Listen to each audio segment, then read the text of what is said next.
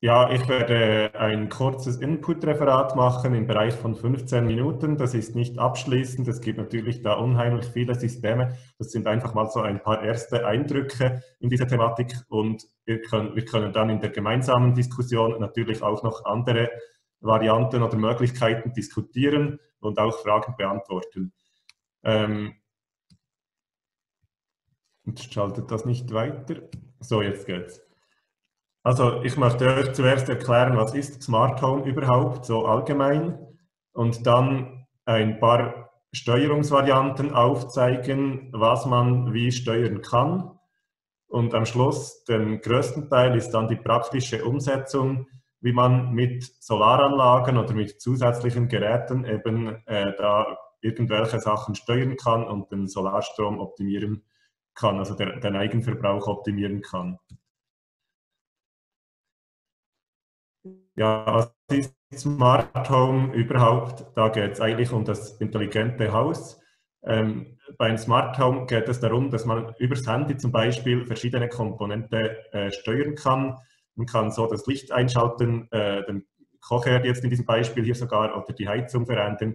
In unserem Bereich mit der Photovoltaik geht es aber insbesondere darum, dass der Wechselrichter oder ein zusätzliches Gerät eben den Solarstrom Eigenverbrauch so optimiert, dass die Geräte möglichst dann laufen, wenn man viel Sonne hat. Also dass der Boiler zum Beispiel dann geladen wird, wenn man eben viel Sonne hat und ähm, dass der Eigenverbrauch dadurch möglichst hoch wird.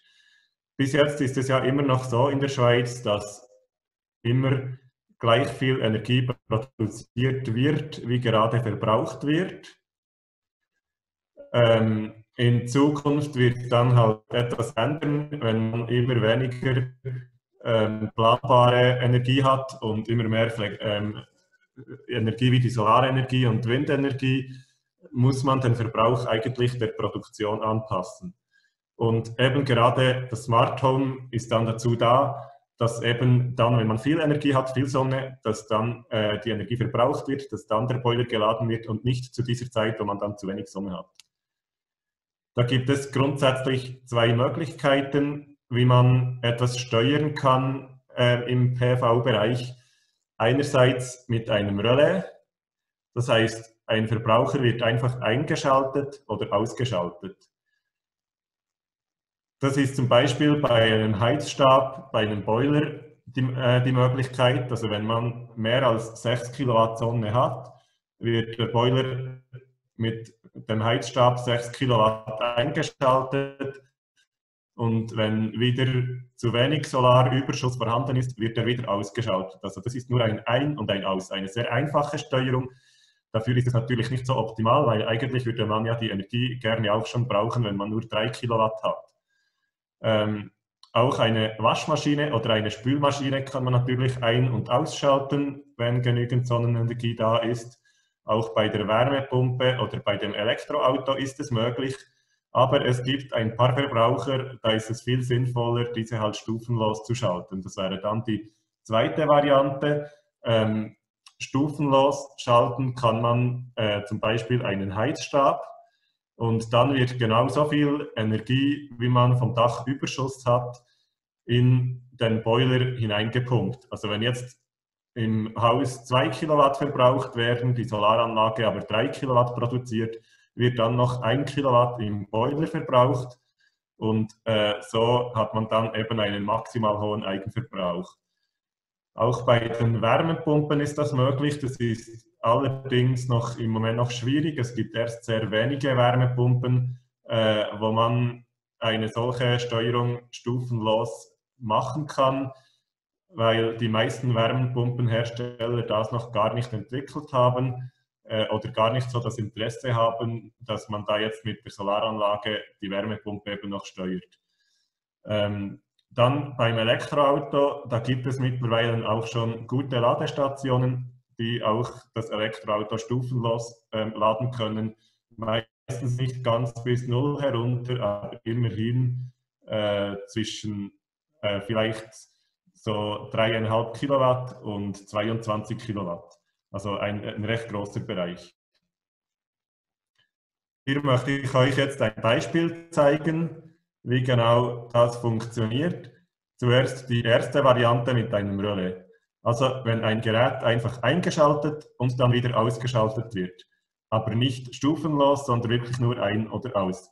Das ist eine reale Anlage, die so realisiert wurde. Ähm, man sieht, dass der Solarstrom um 7 Uhr begonnen hat und kurz darauf wurde schon mehr produziert, als im Haus verbraucht wurde.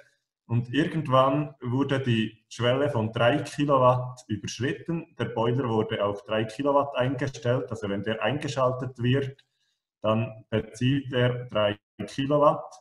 Und äh, diese 3 Kilowatt wurden hier eigentlich äh, noch nicht ganz überschritten. Also zuerst war ja hier noch die Waschmaschine, die ist dann angegangen, nicht gesteuert über, über das Relais, sondern die ist einfach äh, per Zufall angegangen und etwas später, als man dann endlich ähm, 3 Kilowatt Überschussstrom hatte, also erst dann, als die, Wärme, äh, die, die Waschmaschine ausgeschaltet war, erst dann ähm, hat dann das Relais umgeschaltet und eben den Boiler mit 3 Kilowatt geladen.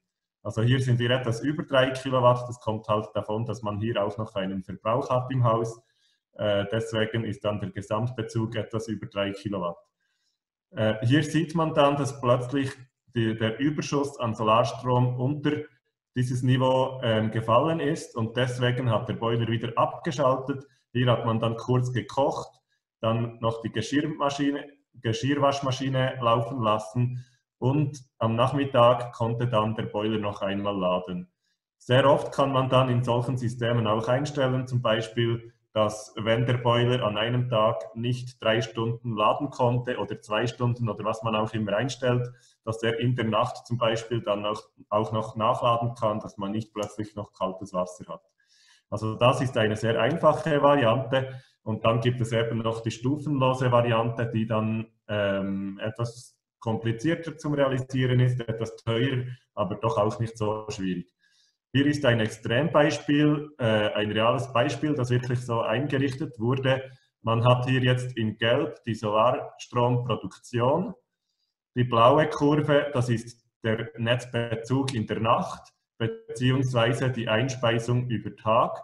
Und hier hat man jetzt einfach einen Heizstab in einem Boiler stufenlos angesteuert.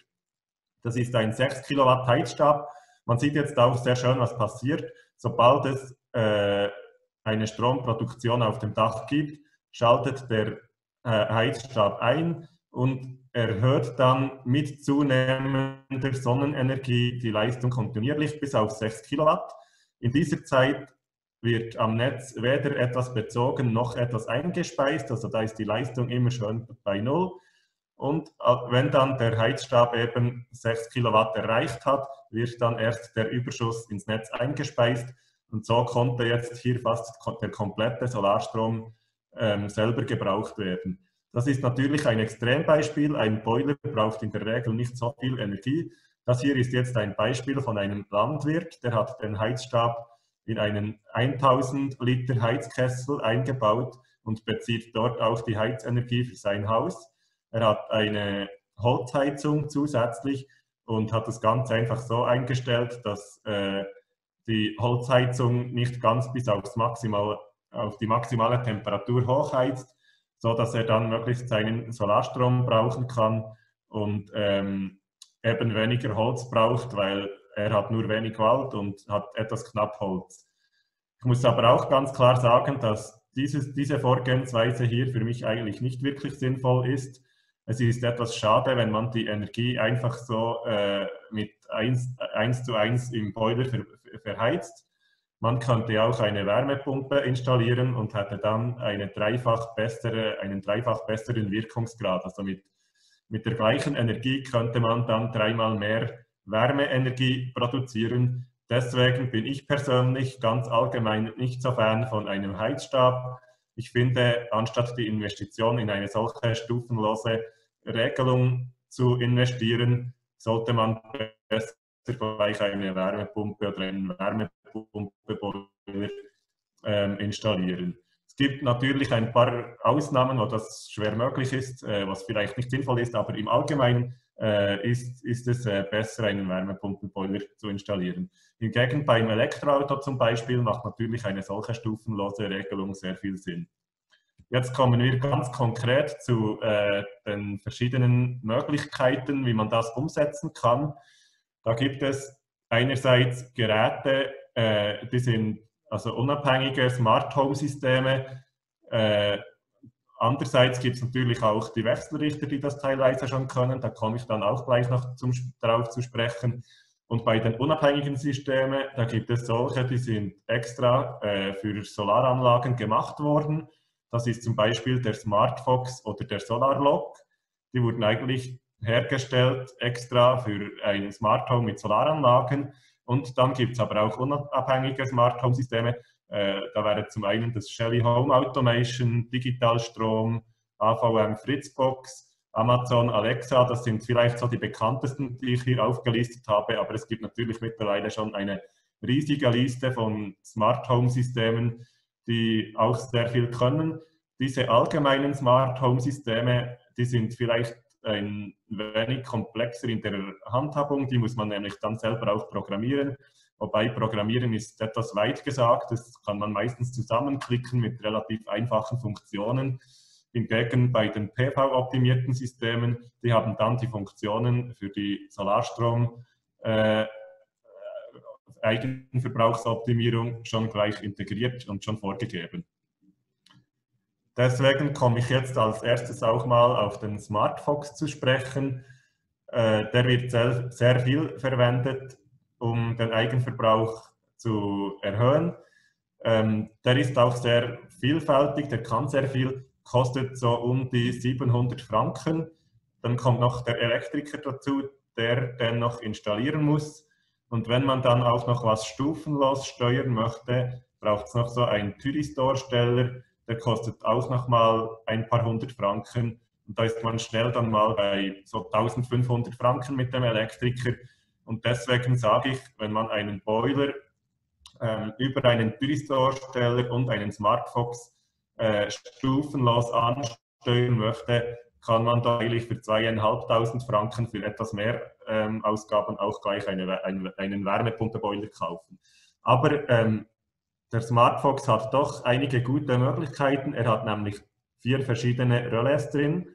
Mit diesen vier Relais kann man jetzt vier Verbraucher ein- und ausschalten. Also das sind alles äh, potenzialfreie Kontakte, die dann eigentlich ein Relais ein ansteuern. Und, und, so kann man eben zum Beispiel eine Wärmepumpe ein- oder ausschalten oder einen Luftentfeuchter oder was auch immer man möchte. Äh, bei der Wärmepumpe ist es dann wichtig, dass sie einen Smart Grid Ready Kontakt hat. Nur dann kann man sie auch äh, sinnvoll ansteuern. Es macht nämlich nicht Sinn, dass man eine Wärmepumpe ein- oder ausschaltet, je nach äh, Solarstromüberschuss, weil sonst ist es dann einfach so, dass, äh, dass ähm, die, die Wärmepumpe plötzlich zu wenig Heizleistung gibt und es kalt wird im Haus. Wenn man aber ein Smart Grid Ready-Kontakt an der Wärmepumpe hat, dann wird einfach, wenn man genügend Solarstrom hat, die Temperatur im Haus vielleicht um 2 Grad erhöht und der Pufferspeicher allenfalls hat voll aufgeheizt. Ähm, dann hat der SmartFox eben auch dieses, diesen Analogausgang, wo man einen Leistungssteller zum Beispiel, äh, an, also einen Thyristorsteller dann ansteuern kann, um einen Boiler stufenlos zu laden. Und es gibt natürlich auch noch weitere Möglichkeiten. Es hat noch einen Ausgang, äh, um über das Internetkabel ein Elektroauto zu laden, also auch eine Elektroauto-Ladestation ähm, stufenlos zu, ähm, anzusteuern. Und deswegen kann der, kann der Smartbox relativ viel. Das Ganze kann dann über die Handy-App gesteuert werden und auch ein- und ausgeschaltet werden, falls nötig. Wobei natürlich das Ganze automatisch funktioniert, aber wenn man möchte, kann man das auch übersteuern mit dem Ein- und Ausschalten. Also das war jetzt so ein Beispiel gewesen von einer Steuerung, äh, von, für, äh, von einer PV-optimierten Steuerung. Jetzt gibt es natürlich aber auch schon bei den Wechselrichterherstellern ganz viele, äh, die da schon einige Funktionen eingebaut haben. Hier wäre jetzt ein Beispiel, das so zum Beispiel bei Fronius, bei Costal oder SMA existiert. Äh, da gibt es einfach einen potentialfreien Kontakt direkt am Wechselrichter. Also wir haben hier den Wechselrichter, äh, jetzt in diesem Beispiel ein Kristallwechselrichter mit einem Energy Meter. Der Energy Meter, der misst eigentlich, wie viel Energie ins Netz eingespeist wird oder vom Netz bezogen wird, gibt dann dem Wechselrichter diese Rückmeldung und wenn Energie ins Netz eingespeist wird, äh, schaltet dann der Wechselrichter direkt einen Boiler ein über einen potentialfreien Kontaktschalter äh, und ein Relais. Und das ist dann direkt im Wechselrichter integriert und braucht keine weiteren äh, Geräte mehr. Und von dem her ist es sehr günstig zu realisieren. Ähm, ja, da braucht man eigentlich nur den Elektriker, der das anschließt. Bei Fronius hat sogar noch eine, ein externes Gerät, das direkt zum Fronius äh, passt. Das ist der Ohmpilot. Der kann dann eben auch bis zu zwei Heizstäbe stufenlos äh, steuern und, und die Energie dort rein, reinstecken in dem Sinn. Und da hat man dann eigentlich auch schon wieder eine zusätzliche Funktion direkt vom Wechselrichter, die dann auch sehr günstig äh, zu realisieren ist. SolarEdge geht noch weiter. SolarEdge hat ein Smart Home System mit verschiedenen Komponenten. Das tönt jetzt auf den ersten Blick ganz gut. Da gibt es so einen Heizstabregler mit 3 Kilowatt einphasig, äh, wo man dann eben stufenlos einen 3 Kilowatt ähm, Boiler ansteuern kann. Nur ist das Problem, dass es in der Schweiz fast keine 3 Kilowatt Boiler gibt. Wir haben fast nur 6 Kilowatt Boiler. Das geht dann wieder nicht, außer der Elektriker baut den Boiler um und hängt halt eine Phase ab, dann geht es meistens dann doch irgendwie. Aber äh, in der Schweiz ist es dann halt nicht immer einsetzbar, das ist eher auch für Deutschland so konzipiert worden. Genau gleich ist es mit den Steckdosenschalter mit integriertem Zähler, den sieht man hier. Eigentlich eine super Idee, man kann dann äh, ein, diesen, diesen Kasten hier in eine Steckdose reinstecken und wenn man Überschussstrom hat, wird diese Steckdose freigeschaltet. Übrigens, das ganze System funktioniert alles über, äh, über WLAN und deswegen muss man auch kein Kabel dorthin ziehen. Äh, nur jetzt sieht man, das System gibt es leider nur mit deutschem Stecker. Das heißt, wenn man das in der Schweiz installieren möchte, müsste man zuerst äh, einen Adapter in die Steckdose einstecken und dann dieses Gerät hier und dann nochmals einen Adapter.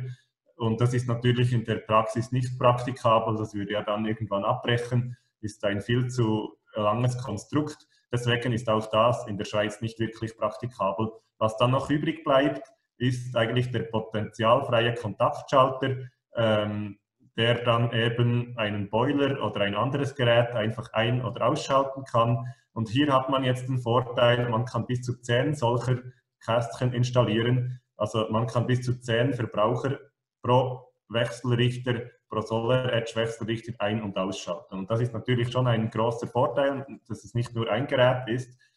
Allerdings muss man da etwas Vorsicht walten lassen. Ich habe das schon mal gemacht. Bei einer Anlage mit etwa 30 Kilowatt haben wir dann ähm, neun 6 Kilowatt Boiler ähm, über dieses über diesen potenzialfreien Kontaktschalter ähm, angesteuert und diese einfach dann ein- und ausgeschaltet. Ähm, das hat dann mehr schlecht als recht funktioniert. Die Steuerung von äh, SolarEdge ist nämlich relativ schlecht programmiert und es wurde dann einfach, wenn man genügend Solarstrom hatte, um einen Boiler zu laden, wurden Leistung der hat es dann zwar sofort gemerkt, hat nach einer Minute begonnen, immer mehr äh, Boiler wieder auszuschalten, bis dann am Schluss nur noch einer übrig war, der eigentlich laden sollte. Aber es hat dann einfach nicht wirklich zufriedenstellend funktioniert. Und aus meiner Erfahrung her kann ich sagen, bis zu drei Geräte kann man gut mit diesem potenzialfreien Kontaktschalter ansteuern. Wenn es mehr sind, äh, dann wird es etwas schwierig, weil einfach die Steuerung zu wenig weit entwickelt ist im Moment noch wird da vielleicht auch in Zukunft auch noch etwas besser.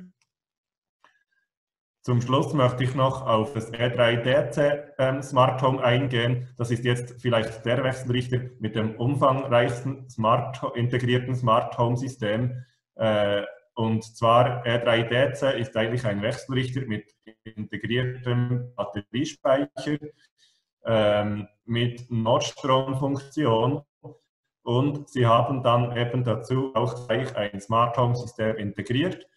Das kann über Modbus kommunizieren, also zum Beispiel Geräte ansteuern, die ein Modbus-Signal verstehen. Äh, es kann auch direkt mit einer Wärmepumpe kommunizieren, die einen Smart Grid Ready Ausgang, also Eingang hat.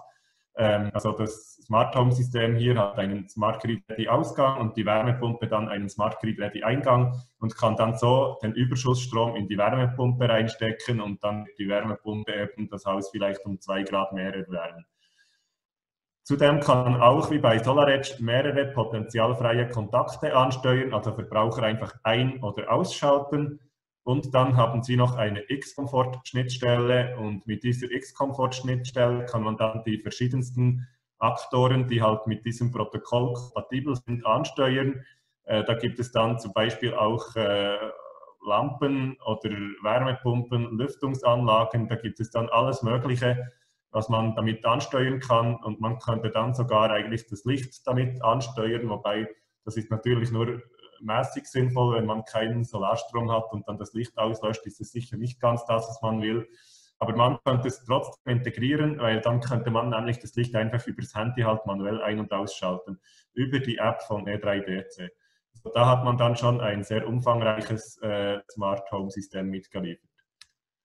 Ja, ich danke für die Aufmerksamkeit. Äh, das war einfach jetzt mal ein kurzer Einstieg in diese Thematik und ich freue mich jetzt auf eine spannende Diskussion.